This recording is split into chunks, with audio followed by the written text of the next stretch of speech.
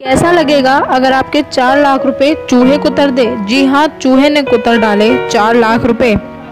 तेलंगाना के महबूबाबाद में रहने वाले एक बुज़ुर्ग ने अपने कैंसर के इलाज के लिए दो लाख रुपए बड़ी ही मेहनत से जमा किए और साथ ही दो लाख रुपए किसी से कर्ज लिए। उन पैसों को घर की अलमारी में रख दिया गया। अस्पताल जाने से पहले जब अलमारी खोली गई सभी नोट तबाह हो चुके थे। चूहे ने सारे नोट कुतर डाले। गाँव के लोगों ने बुज़ुर्ग को सलाह दी कि कुतरे नोटों को बैंक में बदली करवा लें। लेकिन नोट बदली नहीं हुए। बैंक के अधिकारियों ने हैदराबाद रिज़र्व बैंक की सलाह दे दी।